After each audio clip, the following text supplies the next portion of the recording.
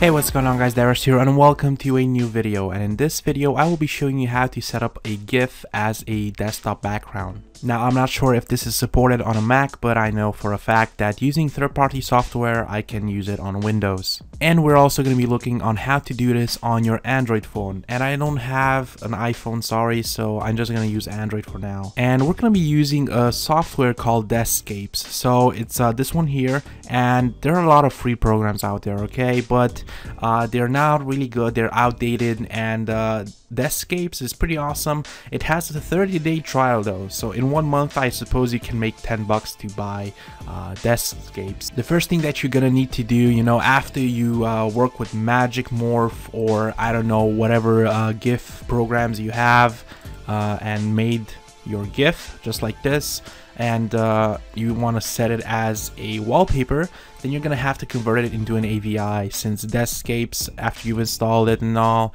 uh, you can uh, add AVIs as Windows background. So if I right click here you know after I installed Deskscapes I can click on configure and uh, I can add folders by clicking on this icon here on the upper left and I can click on add remove folders and you know just make a folder exclusively with AVIs that you converted from uh, GIFs okay? So you're gonna add that folder and uh, and your converted AVI will uh, your converted GIF to AVI will appear here in the list. So if you want to convert a GIF to an AVI you can use this uh, website here onlineconvert.com I will post a link directly to the string that you need to convert to AVI in the description, so make sure to check that out. Um, you're gonna go here and drag your GIF image onto the choose file button or either click on the choose file button and just load the GIF. I just like to drag things directly on the button, it works faster. And click on convert and when, once it's done converting, it's gonna upload, uh, it's gonna download your video, your AVI video uh, immediately and you're gonna put it in the folder that you created exclusively for AVIs. So I'm gonna right click here and then you're gonna go to configure Deskscapes, look for your video, click here and apply to all my monitors, monitor 1, monitor 2. I have two monitors, so that's what it has applied to all my monitors here. Or as a screensaver, that's pretty cool.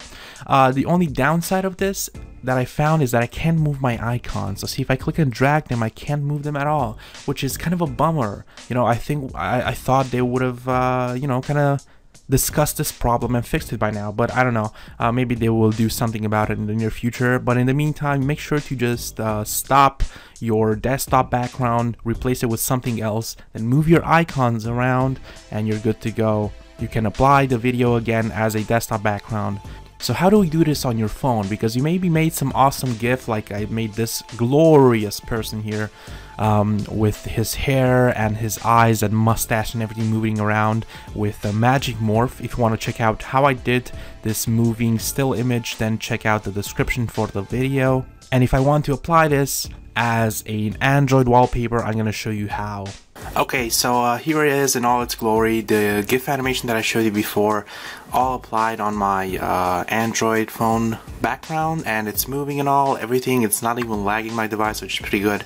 I'm using a Samsung J5 at the moment, so uh, that's my phone, and what you need to do is to go here uh, to your Play Store, you know, and search for this app called AnimGIF uh, Live Wallpaper 2 and once you open it uh, then you can click on it and you can click on settings over here and you can set up uh, and select your GIF file. So transfer GIF files on your phone or download it from some website, I don't know, and click on select GIF files, okay?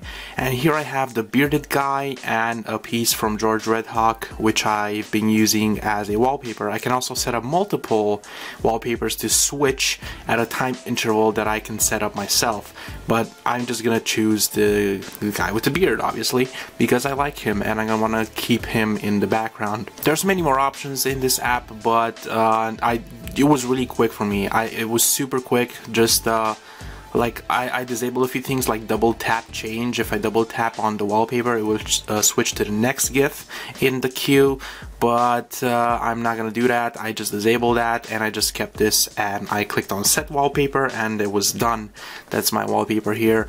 And uh, yeah this is pretty cool pretty easy. It's too bad that you can't do it natively in Windows and in your Android phone but people are smart and we always find a workaround so thank you very much for watching and uh, make sure to subscribe, like the video if you liked it, and uh, comment.